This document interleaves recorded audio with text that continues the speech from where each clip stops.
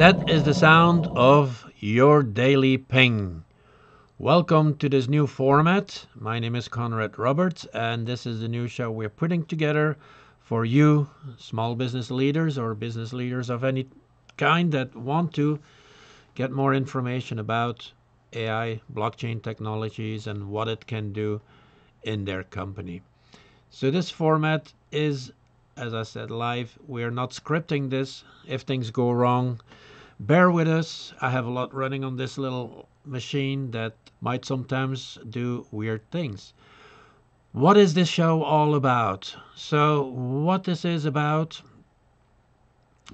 is a couple of different things. So, we will have a daily show at 5 a.m. It's a little later today. Took us a little while to get all everything set up, but ideally every day at 5 a.m. Pacific time, so that's 8 a.m. East Coast time. And as I said, positive news about AI, blockchain developments, a little bit of what's happening in the last 24 hours. GPT Workdesk is our own product, uh, our own software package that should make it easier for you to do all kinds of AI generative things that are relevant to your company. We will show you a little bit of how, little tips and tricks also, we will include what we call the state of the Bitcoin. We are not promoting anything. We're just saying, hey, it is here. This is where you can go look. This is kind of educating you on where to get started, what it all means, and how you can integrate it in your business if you want to do that. A lot of people ask me, well, what's with all these wallets? What's with mining? What is a block? What is a blockchain? How do I get coins? All very valid questions. We will cover these in this show in, in a little bit more, like I said, an informal way, because this is not really a course. It is just a show where we can also have interviews with guests, where we can co- top, cover topics that, that, that you bring up when you uh, email me and say, okay, hey, can you talk a little bit about this? A little bit about that. So the feedback will be important for us to include in the format. And then, of course, our new concept, it's called Ping Page it's pingpage.com. At this point, there is not much there. It is mostly used as a kind of you know a, a, where to go after the show, uh, where you will see more information about the topics that we covered. So this is kind of the format. It is again very spontaneous. It is very informal, and we hope it brings value. And the biggest idea behind this is that it is every day at 5 a.m. before you start your day. We ping you awake. That's why it's called the Daily Ping. So, first we will cover the topic of GPT Workdesk. When we open this program, you will see multiple areas. It's called a Workdesk because there are multiple um, panels here that have uh, different functionalities. So here where my mouse is, yeah, okay, you can see that. So the work desk is, you can have multiple work desks uh, showing you, organizing your, your files in different ways. Here is your menu. Um, these, these are the menus. Like uh, let's do it like this. And this is here the website of the American Association of Small Business Leaders, which is the organization that makes these uh, provides this content to you. It is a membership site. It is very affordable and this software is distributed amongst our members when you sign up and also uh, you will have access to all our videos. If you can see here, we have videos on different channels. So the this is our American Association channel where you have the free videos. They are truncated, the first five minutes, the introduction, kind of what the topics are all about, are free for everybody. That's also on our YouTube channel. And if we go there, we also see short videos that, you know, the one minute video format. And then live, I think here it says live. There we go. That's that's our live stream. And then the newest addition here is called Ping Page. Ping Page is similar to the uh, Twitter format, but without all the, shall we say, extra postings that we that are just cluttering it up. So what we do is we kind of uh, find interesting topics to cover, and we will post it on here.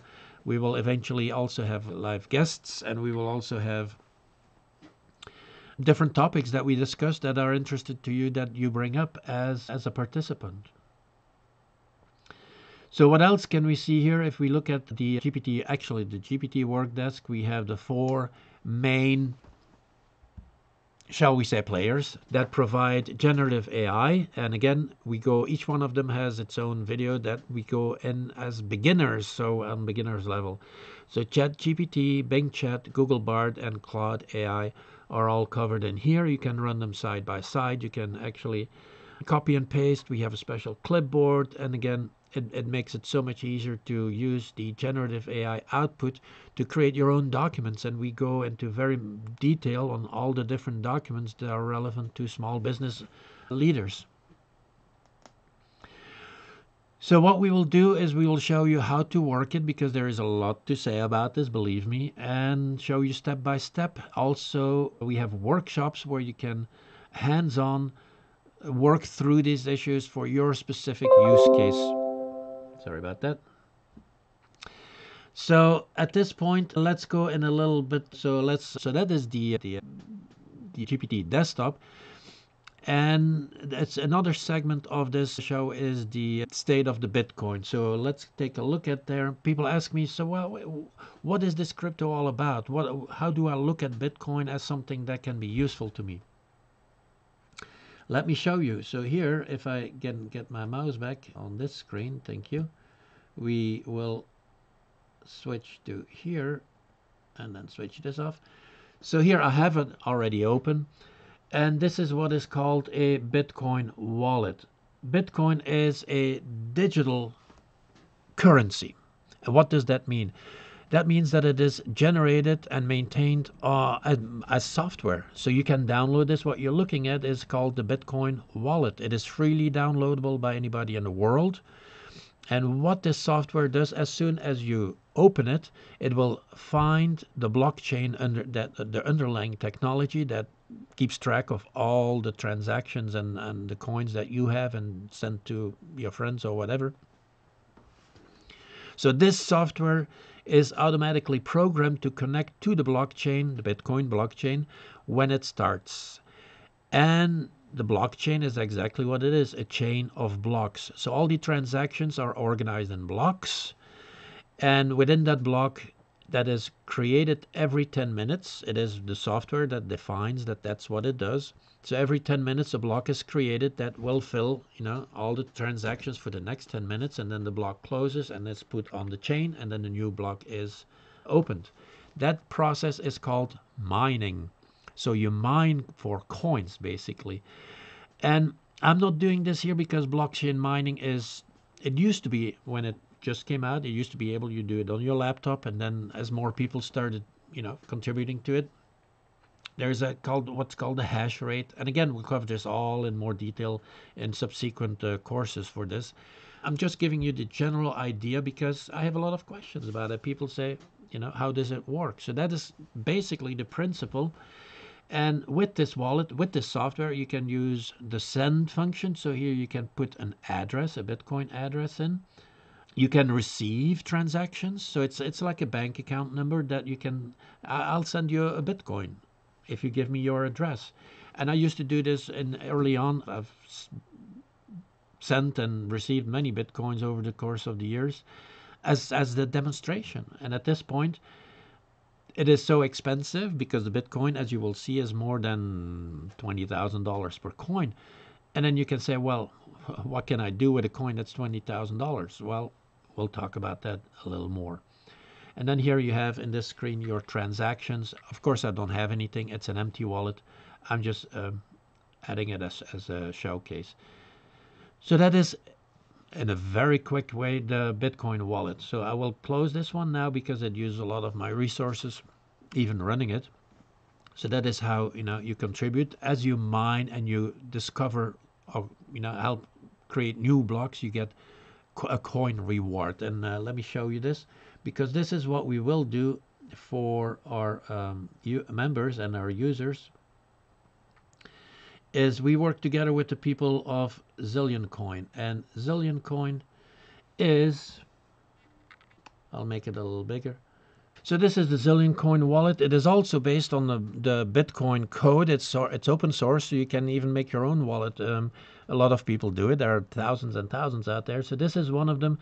And what we did is have an agreement for using this for educational purposes. So the same principle here: send, receive coins transactions. So these are a couple of transactions that I just did earlier this morning.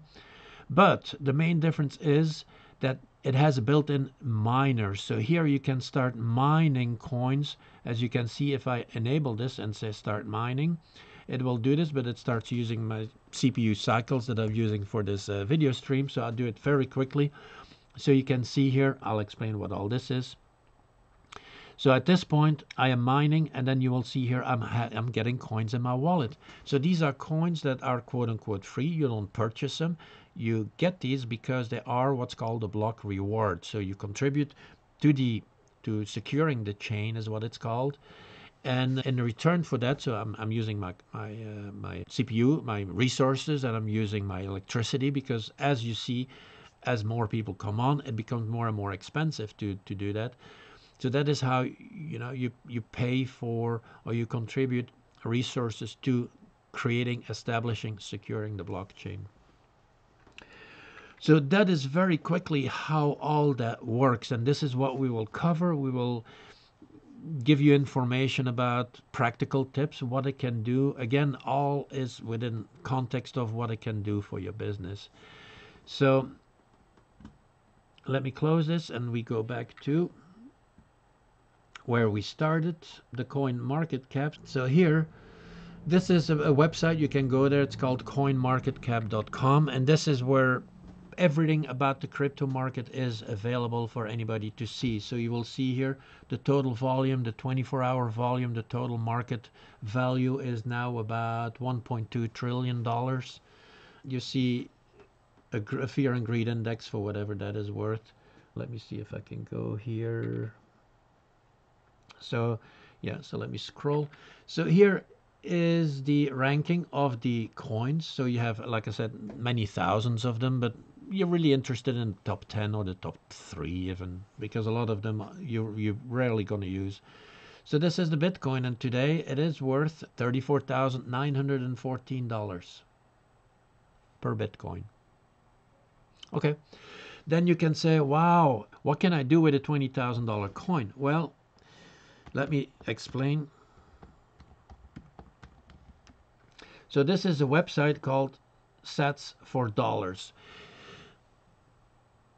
one Bitcoin, just if we compare it to the dollar, one dollar is divided in 100 dollar cents. So the same for the Bitcoin. One Bitcoin is not divided in 100 cents, but in 100 million cents. That is eight decimals instead of three.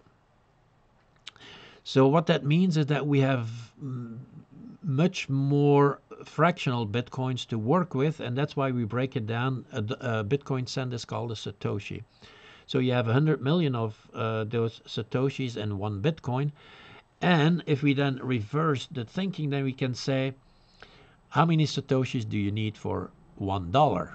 Because then it's where it gets real. So you need only 2,869 Satoshis for one dollar. Maybe at some point they will get one to one, maybe, maybe not. But this is how you can calculate it. So what does it, you can become a Satoshi millionaire. So 1 million Satoshis for $348. Why is it that way? You can say that's much harder to work with. Well, yes and no. The biggest benefit, or one of the biggest benefits of Bitcoin is that it has a limited supply. You've heard about it 21 million um, bitcoins ever will be created. So at that point, it becomes interesting to start thinking in terms of satoshis. That means it's more manageable and it's within your reach. You can buy these uh, on the exchanges, you know, on a regular basis. It's kind of a savings. Now, how did it all evolve? If, we, if you can see here on the bottom, I've made a, that's a website that I've created just for explaining so in February 1, 2011, you had Bitcoin had parity with the dollar. So one Bitcoin was one dollar. It's about 14 years ago. And now one Bitcoin is $24,000, $34,000, sorry.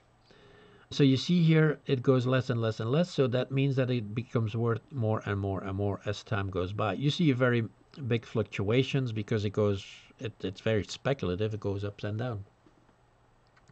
So again, this is uh, one way to approach and understand Bitcoin and what it can do for you and this is what we will cover this was a very quick intro this is what this is was very generic but i wanted to start somewhere with telling uh, you that this is one good place to start and as i said we'll do it every day that was it for this first episode. I'm really glad you were able to join and i will see you tomorrow for your daily ping